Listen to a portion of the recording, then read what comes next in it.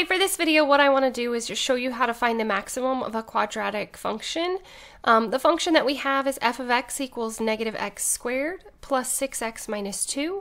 And the way that I know that it's going to be a maximum is because there is a negative in front of x squared, which tells me that my quadratic function will open downward. So that yields a maximum point on our graph. Um, what I'm going to do is show you how to use Desmos graphing calculator to do this. So I just went to desmos.com and you can pull up the graphing calculator. They have a lot of really cool features. And what you're going to do is you're just going to type it in. You don't have to type in the y equals or the f of x equals. Um, you would just type in the negative x um, squared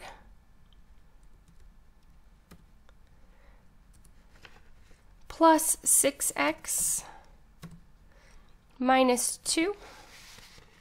And so you can see that we have um, a graph shown and it's kind of off of my screen, but there is a um, zoom out feature right here where we can zoom to be able to see this.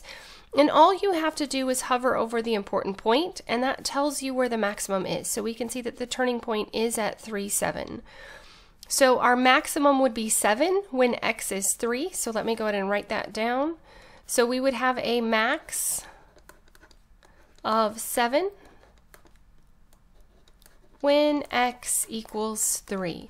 Using Desmos is very, very easy to find any of your important points. Like if I go back here really quickly, we could also see that we have an intercept at 0.3540, um, and we have another solution at 5.646 and we have a y-intercept at 0, negative 2. So this gives you your x-intercepts, your y-intercepts, and any turning points very easily. You don't have to do any lower bounds and upper bounds like you do in the graphing calculators.